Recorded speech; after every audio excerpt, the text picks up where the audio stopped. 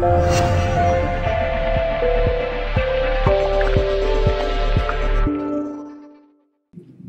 AJ Hazzi here from Vantage West Realty, and welcome to our video blog. I want to thank you for stopping by. This is our inaugural run, and from here forward, every couple of weeks, we're going to be sending out some really relevant real estate information along with some top tips for you.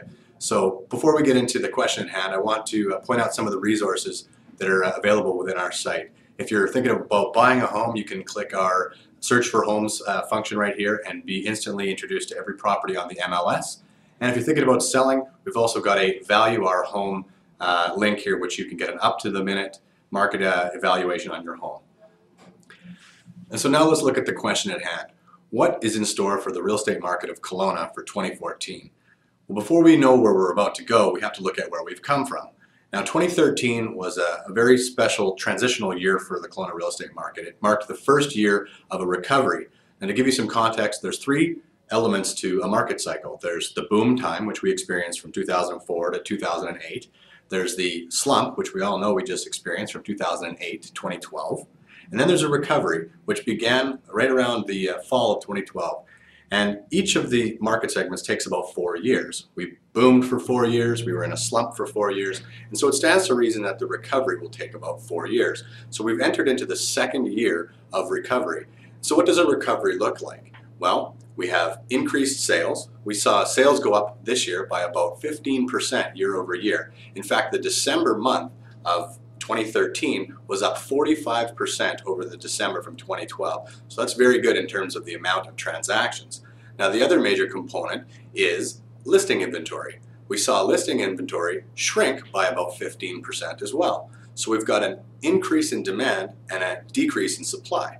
Now, as we know, price is a function of supply and demand, so it stands to reason that over the course of this recovery, we'll start to see small incremental price changes that are going to start inching our way back up to our historic high from the 2007 levels. Now, there's a couple of other things that are sort of adding to this mix, and one of those is interest rates. Now, it surprised us, but they actually lowered the long range interest rate this year. They dropped it down from as high as 3.59 to right now you can get interest rates on five-year fixed for 3.09. This is really going to add to the sort of buying um, temperature, let's say, of the market.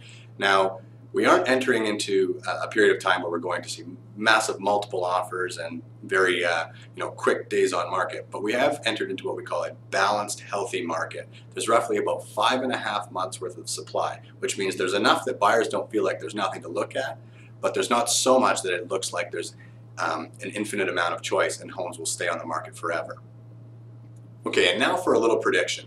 So what I think will happen in 2014 is that we'll see a little bit more of the same, only slightly more pronounced. We'll see inventory to continue to shrink, we'll see sales continue to go up, and we're even going to get our first little bit of price appreciation that we've seen in almost five years. So I would expect to see property values climb anywhere from 2 to 5% in 2014. So this is going to be a great year for us. Uh, confidence has been restored, and it's an awesome time to own and invest in real estate in Kelowna, BC.